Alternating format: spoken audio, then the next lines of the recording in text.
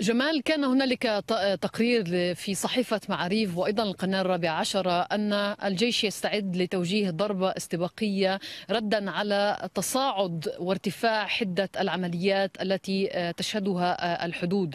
هذا يترافق إلى جانب إلى جانب أن الميدان مشتعل بهذه الأحداث. أيضا هنالك ضغط ضغط يمارسه رؤساء المجالس المحلية للبلدات الشمالية الذين يخشون تكرار سيناريو طوفان الأقصى أو ما جرى في السابع آه، من أكتوبر في جنوب إسرائيل في مناطق الغلاف أن يتكرر هنا في الحدود الشمالية. آه، لم تخلى فقط مناطق الغلاف وجنوب إسرائيل أيضا هنا نتحدث عن آه، إخلاء ما لا يقل عن 60 ألف إسرائيلي أخليوا تماما من 42 بلدة إسرائيلية وهم يعيشون الآن في فنادق بسبب هربا من تداعيات الاشتباكات والعمليات التي تنفذ على الحدود. هنالك مطالبات بأن أن الحرب على غزة قد تضمن تضمن الهدوء إن نجحت إسرائيل بتحقيق أهدافها المعلنة لهذه الحرب. ولكن هنا من يعيد الهدوء إلى سكان الشمال خاصة وأن حزب الله موجود على الحدود المقاومة الفلسطينية موجودة ويخشون قوة الرضوان القوة الخاصة وقوات النخبة التابعة لحزب الله. آه، عمليا هنالك تخوف هنالك ضغط حتى أن رؤساء المجالس المحلية لم آه، يقبلوا وقاطعوا جلسة مع نتنياهو بداخل الكريام مقر وزارة الأمن في تل أبيب لأنهم يريدون أن يأتي بنيامين نتنياهو إلى هنا ليشعرهم بأهمية ما تشهده هذه الجبهة.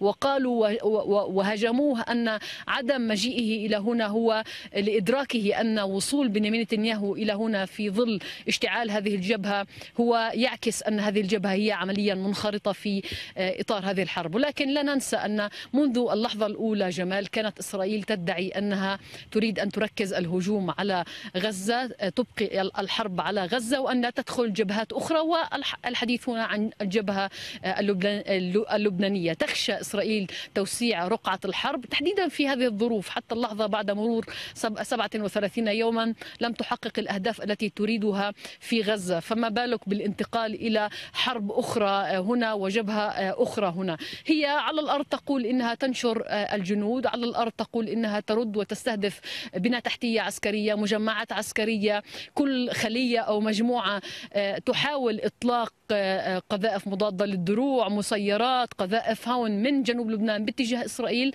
تقصفها وتستهدفها في إطار محاولة الحفاظ على الوضع الأمني آه، عند الحدود. ولكنها تدعي أنها مستعدة للذهاب إلى المرحلة الأخرى في إطار هذه الجبهة. إن استدعى ذلك هي تقول إن هذه الاستفزازات والمشاغلة التي مارسها حزب الله باتت عدوان وباتت اعتداءات. ولا نعرف متى سوف آه، يكون الخط الأحمر الذي يتجاوزه حزب الله. بالأمس فقط سئل جالانت عن ما هو الخط الأحمر الذي سوف يدفع إسرائيل للذهاب نعم. إلى آه، حرب أو هجوم على لبنان. قال إنه عندما ترون آه، أن إسرائيل تقصف بيروت وقتها هذا هو الخط الأحمر الذي تجاوزته نعم. أو المقاومة أو حزب الله. وبالتالي إسرائيل نفسها لا تعرف هذا الخط الأحمر. آه، تريد تأمل أن تبقى الجبهة مفتوحة فقط في آه، قطاع غزة لأنها آه، غير مستعدة لربما أو غير قادرة على التعامل مع جبهتين جمال.